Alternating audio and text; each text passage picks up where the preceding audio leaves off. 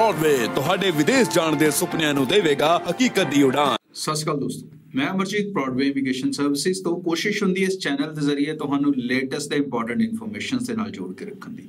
ਸੋ ਅੱਜ ਦਾ ਸ਼ੋਅ ਜਿਹੜਾ ਹੈਗਾ ਜੀ ਡੈਡੀਕੇਟਿਡ ਹੈ ਉਹਨਾਂ ਸਟੂਡੈਂਟਸ ਦੇ ਲਈ, ਜਿਹੜੇ 10ਵੀਂ ਜਾਂ 12ਵੀਂ ਪਾਸ ਨੇ, ਪਰ 10 ਤੋਂ 12 ਸਾਲ ਦਾ ਗੈਪ ਆ ਚੁੱਕਾ ਹੈ ਔਰ ਉਹਨਾਂ ਨੂੰ ਪ੍ਰੈਜ਼ੈਂਟ ਸਿਨੈਰੀਓ ਦੇ ਵਿੱਚ ਕੋਈ ਆਪਸ਼ਨ ਨਹੀਂ ਮਿਲ ਪਾ ਰਹੀ।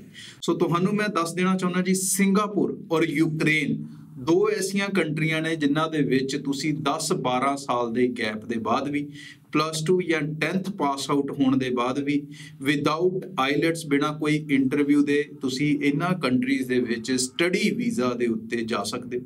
ਸਿੰਗਾਪੁਰ ਦੇ ਵਿੱਚ 6 ਮੰਥ ਸਟੱਡੀ ਰਹਿੰਦੀ ਹੈ ਸੋ ਤੁਹਾਨੂੰ ਨਾਲ ਜੌਬ ਇੰਟਰਨਸ਼ਿਪ ਵੀ ਮਿਲਦੀ ਹੈ।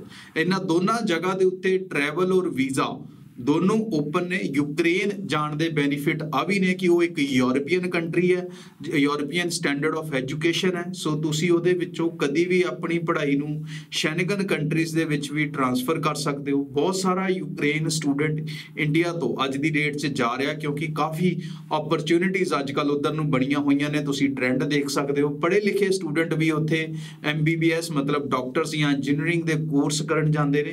ਸੋ ਇਹ ਚੀਜ਼ਾਂ ਤੁਹਾਨੂੰ ਸਾਰੀਆਂ ਐਸੇ YouTube ਤੇ ਅਵੇਲੇਬਲ ਹੋਣਗੀਆਂ। ਅਗਰ ਤੁਸੀਂ ਸਰਚ ਮਾਰੋਗੇ ਔਰ ਤਾਂ ਫੀਡਬੈਕ ਲਵੋਗੇ ਔਰ ਇਹਨਾਂ ਦੋਨੋਂ ਕੰਟਰੀਜ਼ ਦੇ ਵਿੱਚ ਜਾਣ ਦੀ ਜਿਹੜੀ ਖਰਚਾ ਹੈ ਜਾਂ ਕਾਸਟ ਆ, ਉਹ ਤਕਰੀਬਨ ਤਕਰੀਬਨ 4.5 ਲੱਖ ਦੇ ਵਿੱਚ ਵਿੱਚ ਸਮਾਂ ਪਹੁੰਚ ਜਾਂਦੀ ਹੈ। ਸੋ ਬਜਟਡ ਵੀ ਨੇ ਚੀਜ਼ਾਂ ਔਰ ਤੁਹਾਡੇ ਫੇਵਰ ਚ ਵੀ ਨੇ। ਸੋ ਇਹ ਜਿਹੜਾ ਮੌਕਾ ਹੈ ਓਪਰਚ्युनिटी ਹੈ, ਇਹਨੂੰ ਮਿਸ ਵੀ ਨਾ ਕਰੋ ਔਰ ਟੀਮ ਨਾਲ ਕੰਟੈਕਟ ਕਰ ਸਕਦੇ ਹੋ ਔਰ ਜਲਦੀ ਤੋਂ ਜਲਦੀ ਤੁਸੀਂ ਇਹਦੇ ਲਈ ਅਪਲਾਈ ਕਰ ਸਕਦੇ ਹੋ। ਨਮਸਕਾਰ ਦੋਸਤੋ।